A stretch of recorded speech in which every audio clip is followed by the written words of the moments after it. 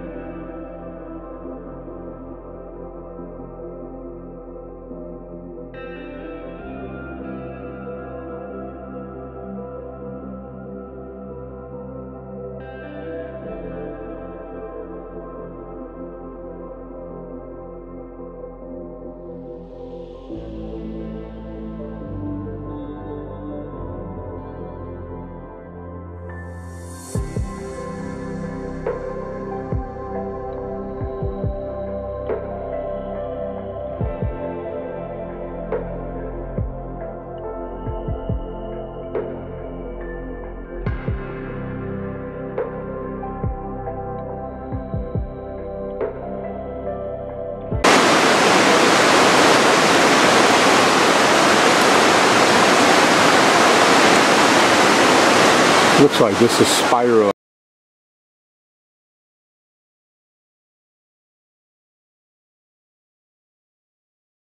Here is what causes that. It's interesting. Never knew that.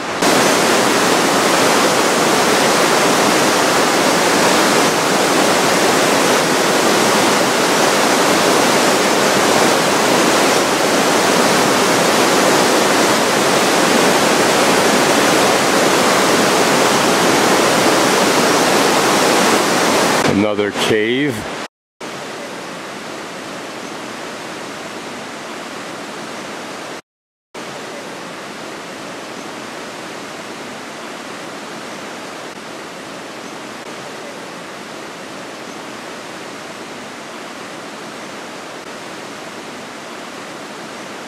Nothing much of interest really. But you can see that it is a limestone, I'm pretty sure, the way it's weathered and the way it cracks. And what appear to be the sedimentary layers, the dead giveaway. There certainly was some kind of activity here. Maybe we'll find out the next interpretive sign. Those look like the caissons for a sewer line. Seem really strange, but notice how there appears to be a wall over there diving down into the water.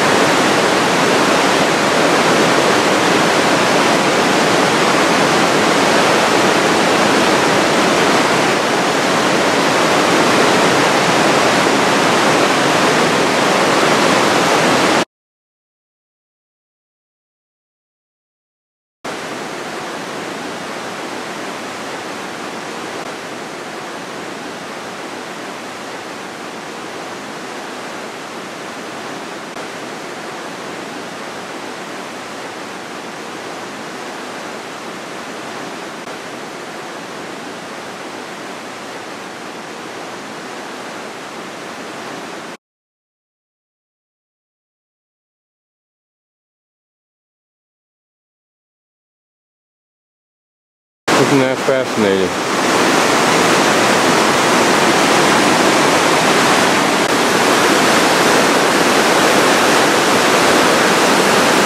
Now just for the entertainment of those of us who see things that aren't there, notice the profile of George Washington, but also notice that he forms just the body of a duck or a bird. Its beak being the light brown up above on the left, its head the darker color of George.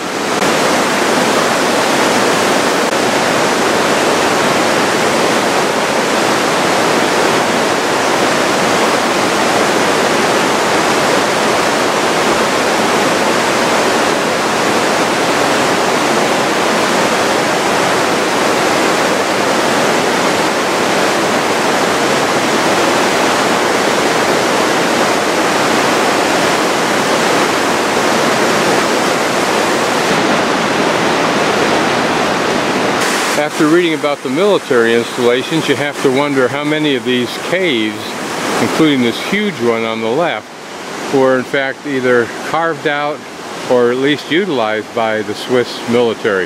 This one looks like a natural big erosion one. But you can also get a clue as to how the river cuts loose chunks of the sides so that they can fall off into the river as has that huge pile of rock there. Go through this cave you can see from the reflection it's absolutely dripping with water. The cave itself begs the question, what was so technically difficult about this part the cave traverses on the gorge versus their ability to continue the walkway through that same area above the water, unless they're just giving us a clue of how the military used this.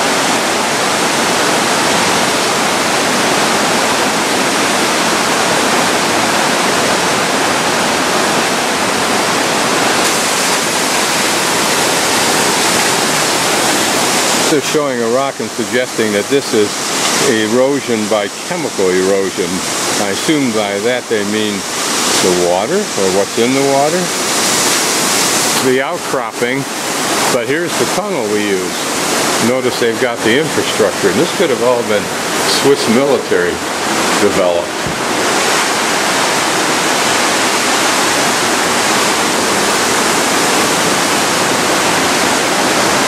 Notice here how the river undercuts this huge slab of stone. Someday, someday,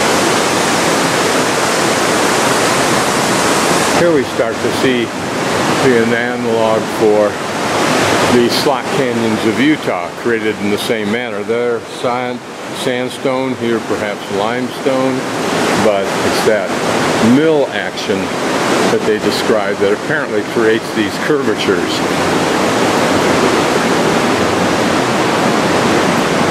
The color and the hardness of the rock probably dictates the drama. Our southwestern ones are brilliantly colored, whereas this is a dull gray.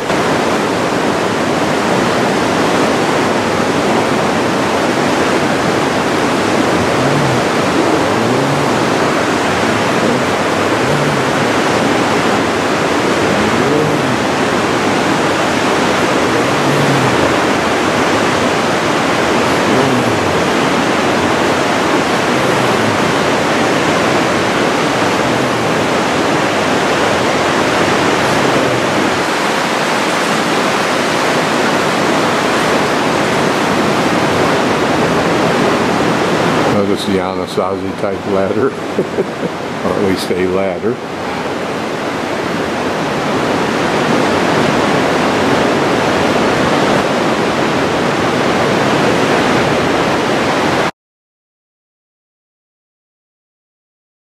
This is a chunk of history showing the precarious way that they built these walkways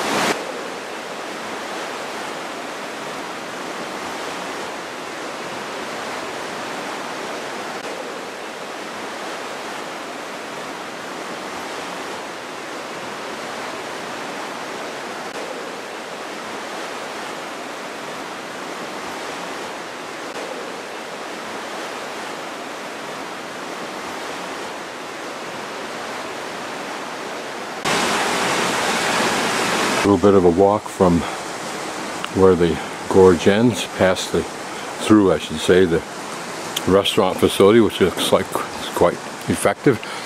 Down this road, across this bridge, and here we are again at the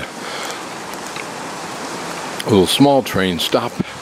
Will take us to Meiringen. Unlike their neighbors, these folks have decided they don't want to mow their lawn, and it may well because it's got so many pretty flowers in it. Notice the different colorations of what look like daisies or very small sunflowers as well as the sunflowers in the back that are in their own garden space.